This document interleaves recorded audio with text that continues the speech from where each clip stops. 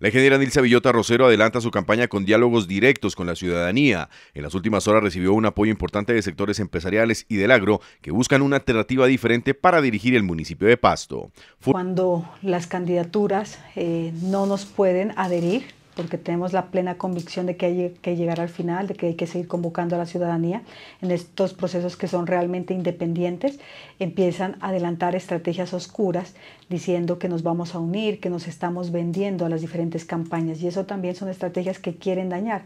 Sin embargo, el trabajo constante, determinado, el acompañamiento de la ciudadanía ha permitido que mi candidatura, Nilsa Villota Rosero, siga avante, siga adelante, siga convocando a la ciudad y siga demostrando que la independencia no es un discurso barato para llegar, que realmente la independencia es la línea que nos demarca cuáles son nuestras propuestas, cómo vamos a actuar, cómo vamos a resolver los diferentes problemas que tiene nuestro municipio y cómo vamos a gobernar los próximos cuatro años. La candidata adelanta su campaña con varios indicadores positivos en torno a la intención de voto a su favor. Varios sectores sociales y comunitarios han volcado la mirada hacia su propuesta. Muy importantes son las fuerzas que se están sumando a mi candidatura. Hace un tiempo se sumó la doctora Esperanza Rojas con un tema de, del candidato eh, Cristian Díaz. Eh, más eh, concejales se suman a mi proceso y seguimos convocando a la ciudadanía. La ciudadanía tiene dos caminos hoy, el camino de la maquinaria, el camino del coaccionamiento por el contrato que tienen las diferentes entidades públicas y el camino real de la democracia.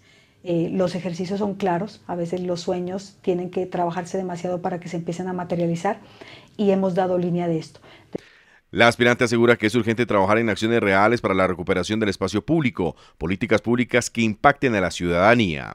Una de las situaciones muy importantes y que la gente lo solicita es cómo vamos a enfrentar la ocupación de espacio público.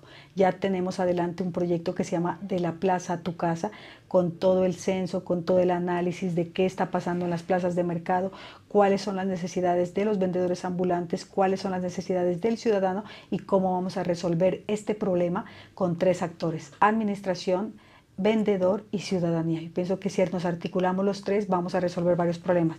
Importantísimo.